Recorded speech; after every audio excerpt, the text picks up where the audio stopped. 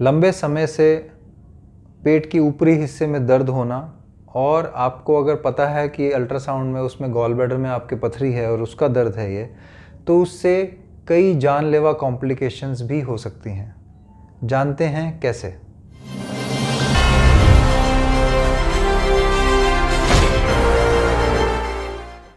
So friends gall bladder stones north India में काफ़ी common problem है और गॉल ब्लैडर की पथरी का जो मुख्य लक्षण है, वो है पेट के दाहिनी तरफ़ ऊपरी हिस्से में दर्द होना, जहाँ पे हमारा चेस्ट और एब्डोमन मिलता है। पसलियाँ जहाँ ख़त्म होती हैं, यहाँ से इस हिस्से में। इस हिस्से में सबसे कॉमनली गॉल ब्लैडर स्टोन का दर्द होता है और ये दर्द काफ़ी पेशेंट्स में कमर में और कंधे तक में भी जा सकता है। ये इनिशियल सिम्टम होता है ज़्यादातर मरीज़ों का और कई मरीज़ों को फिर जब हम अल्ट्रासाउंड टेस्ट करते हैं तो उसमें गॉल ब्लैडर स्टोन आते हैं। अब गॉल ब्लैडर स्टोन्स का इलाज एक ही है, कोई दवाई से इसका इलाज नहीं हो सकता। इसको सिर्फ़ हम ऑपरेशन से, दूरबीन के ऑपरेशन से निकाल के ही इसको ऑपरेट ट्रीट कर सकते हैं। बहुत सारे मरीज़ ऑपरेशन के डर से या इस इस सेंस ऑफ़ लॉस की वजह से कि हमारा एक ऑर्गन बाहर निकल जाएगा, ये ऑपरेशन नहीं कराते हैं। तो इनमें से करीब सिग्निफिकेंट परसेंटेज ऑफ़ पेशेंट्स में जब ये प्रॉब्लम बार बार होती रहती है और ये बीमारी बढ़ती रहती है तो इसमें बहुत सारे ऐसे कॉम्प्लिकेशंस पैदा होने का रिस्क रहता है, जिसमें लाइफ का भी रिस्क हो जाता है। जैसे कि इन्फेक्शन जिसको हम एक्यूट कॉलिसिस्टाइटिस बोलते हैं गॉल बैटर में पस पड़ जाना। गॉल बैटर का पत्थर स्लिप होके नली में आ जाता है सीबीडी में तो उसको हम कॉलेंजाइटिस की वजह से रिस्क हो जाता है जॉन्डिस हो जाता है पेशेंट को। जब गॉल बैटर का स्टोन स्लिप होके पैनक्रियाज को इंजर करता है तो उससे पैनक्रियाटिस होता है। और फाइनली सबसे इंपॉर्टेंट और सबसे रिस्की कॉम्प्लिकेशन कुछ पेशेंट्स में ये कैंसर तक भी बना सकता है गॉल ब्लैडर का। ये सारे ही कॉम्प्लिकेशंस प्रिवेंटेबल हैं। उन मरीज़ों में जिनको पता है कि उनके गॉल ब्लैडर में स्टोन्स है और जिनको बार बार तकलीफ़ हो रही है right hypochondrium right side of abdomen में पेन के साथ, लेकिन वो ऑपरेशन से बचना चाह रहे हैं। अभी पिछले महीने ही हमारे पास एक व्यक्ति आए, जिनको गॉल ब्लैडर की बीमारी का पता 20-22 साल से था।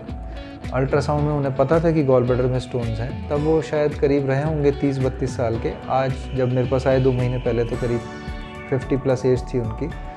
बहुत सीवियर पेन और जब मैंने पेट पे हाथ रखा तो एक गांठ जैसा फील हुआ। अल्ट्रासाउंड कराया तो उसमें गॉल ब्लैडर में गांठ थी पत्थर के साथ। सीटी कराया तो कैंसर की गांठ निकली। और अनफॉर्चुनेटली वो कैंसर की गांठ पूरे लिवर में फैली हुई थी। अब उनका हमने सारे टेस्ट जब कराए तो कंफर्म किया कि वो कैंसर गॉल ब्लैडर का ही था। उसमें बहुत सारे स्टोन्स भी थे और लिवर में भी जो गांठें बनी हुई थी वो फैले हुए गॉल ब्लैडर कैंसर की थी। अब कैंसर गॉल ब्लैडर पूरे लिवर में फैला हुआ है, इसका मतलब वो लास्ट स्टेज का कैंसर है, जिसका कोई डेफिनेटिव इलाज हमारी साइंस में आज की तारीख में नहीं है।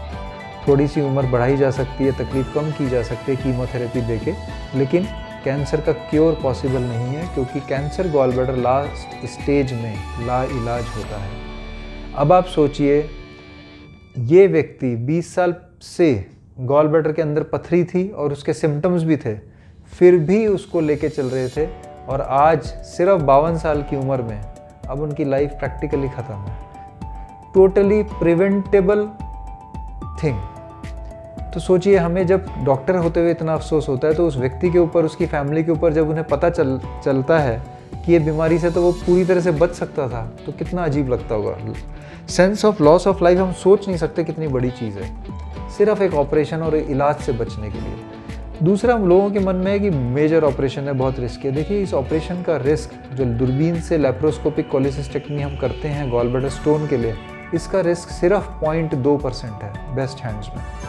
तो पॉइंट दो परसेंट रिस्क कुछ भी नहीं है। बजाय इसके कि हम ये बीमारी को रखे रहें और अपने प्राइम ऑफ़ लाइफ में लास्ट स्टेज कैंसर हमें हो जाए। So friends please take care अपने कोई भी पेट के संबंधित सिम्टम्स को इग्नोर ना करें और गॉल ब्लैडर स्टोन्स अगर आ जाएँ और वो अगर आपको तकलीफ़ दे रहे हैं तो तुरंत डॉक्टर के कहने पे इलाज करवाएँ।